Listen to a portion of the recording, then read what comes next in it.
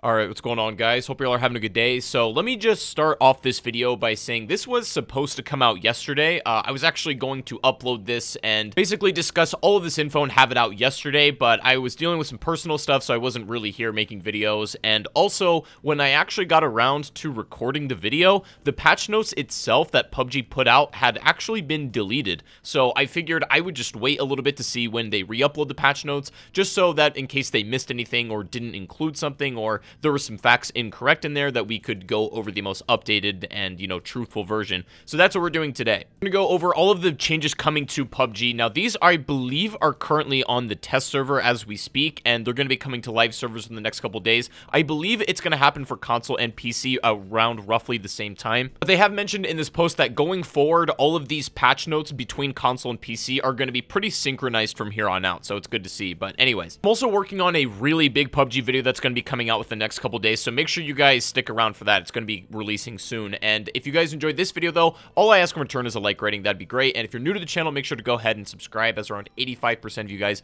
are not currently subbed. And also, I do have a creator code you guys can use in PUBG. Whether you play on PC or console, you can add it to your account, and I've made it super easy. The link to that is in the description. If you use my code, please let me know in the comments so I can thank you, because I literally couldn't do this without you guys, so I appreciate you very much. But anyways, I actually figured out exactly why these patch notes were deleted first and foremost.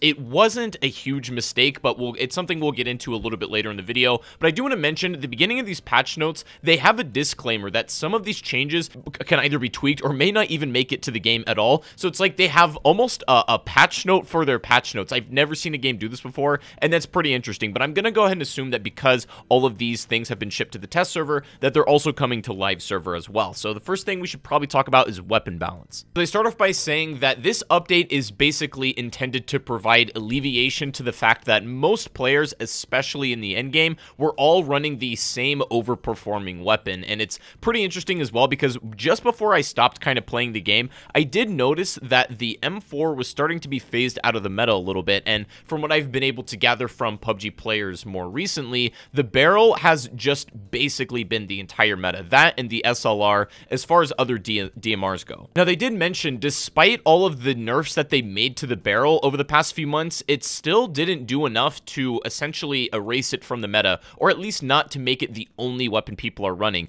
I think it's due to the fact that not only is the Beryl just good on its base statistics, but people have gotten really good at the, the game to the point where the Beryl is almost as easy to use as the M4. That was the only thing really separating the two, was the fact that the Beryl's got a lot more recoil, is a bit harder to use, especially for newer players, and there's a bit of a more barrier to entry, we'll say. But now it looks like the M4 is just going to be brought up to par, hopefully, with the Beryl, and they're not necessarily nerfing the gun. We can see statistically exactly how the M4 is changing. They're bumping the base damage from 40 per bullet to 41. The initial bullet speed increase is going to go from 780 to 880. And then they're also extending the damage fall-off range from 50 meters to 60. Now, the big thing here isn't damage, which, again, it's also fairly interesting because I believe the last time I played, the M4 was still doing 42 damage, so they must have nerfed it pretty severely uh, in the time that I was taking a break. And coming back, it looks like they have rebuffed it a little bit, but the biggest change, in my opinion, is actually the bullet velocity because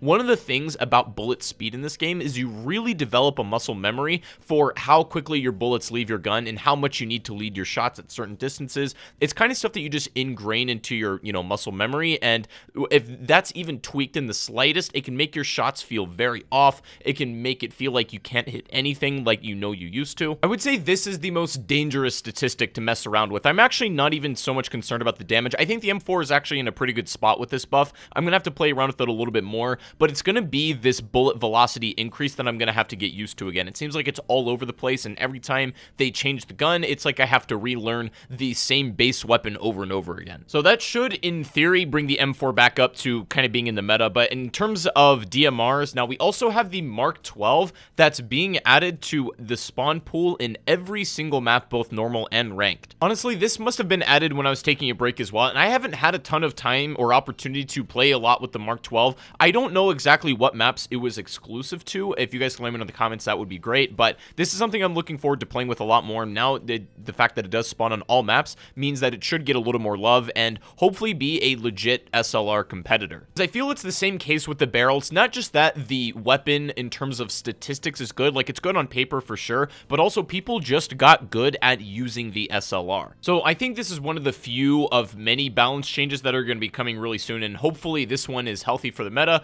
Honestly, I think a lot of the weapons are in a pretty good spot. Even coming back to the game, seems like everything is relatively well balanced one another, and they are making some changes to SMGs and shotguns, but they say that it's a little bit difficult to actively readjust in-game these types of weapons because they need to use like several months of data to make changes, and I guess that maybe these don't even get that much playtime comparatively to other things, so it takes longer to gather the data that they need to readjust them. So for the next like month or so, I'm going to say that this is going to be the new map selection as winter's going away. Obviously, they're going to get rid of Vikendi and we're going to have Erangel, Miramar, Sanhok, Karakin, and Taego in the normal match rotation. So the interesting thing is, again, if you saw my last video, Sanhok's going to be getting a 3.0 re-remaster. It's very strange, but I think this is probably the last time we're going to see this version of Sanhok ever in the queue. So if you're a fan of this map, then I recommend you get on and start playing now because it's going to either go away or get dramatically changed here soon. But after I posted that video, I saw a lot of feedback from the community, and it seems like actually right now, most people kind of hate Sanhok. I, I don't think there's a whole lot of fans of that map, to be honest.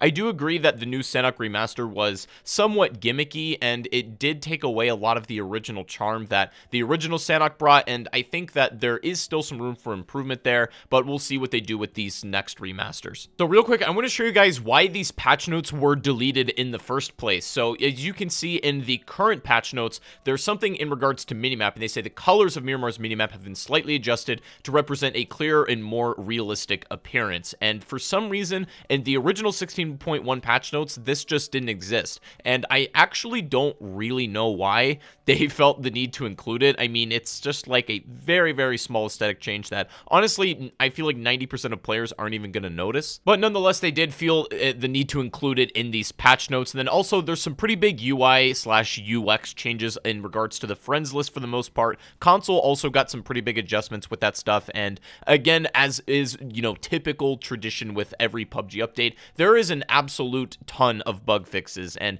if you want to read through all those by yourself, I will leave the link to these patch notes in the description. Also, there were some changes to how ranked matches work, and also a new vehicle got added to rank specifically for Taego that we can see, and that's basically a lot of the major stuff that was adjusted. And speaking of Taego, real quick, I was taking again some more feedback from the community on my last video, and it seems like a lot of people hate Taego just as much, if not more, than they hate Sanhok, and I guess I don't really understand why, because I played Taego when it came out, didn't play it a ton, I will admit, and I had a relatively decent time on the map, and, you know, I kind of enjoyed it. I thought it was a, it's got an interesting color palette and it played relatively well. So I, I guess I don't really understand the disdain for this map. I would love for you guys to enlighten me in the comments of why you think Taego is maybe not really that good of a map. I think there's a possibility that we see some really big adjustments to Taego in the future because if the community really doesn't like it, you know, like that, they may not include it that much in the next map rotations and with their, you know, map service announcements. So I guess we'll wait and see about that one as well. But yeah, anyways, guys, that's pretty much all of the major changes in this PUBG 16.1 update. Once again, I did say I wanted to post this yesterday, but I had a lot of personal stuff to deal with, and I just wasn't able to get around to it in time. But I appreciate you guys watching nonetheless, and I'm also going to be sure to update you guys on anything else PUBG does in the future. And again, I'm working on a really big video that I think you guys are going to enjoy in the next couple of days, so make sure to stay tuned for that. But anyways, hope you guys enjoyed the rest of your day. Thank you for watching once again, and I will see you all in the next video. Take it easy, and peace out.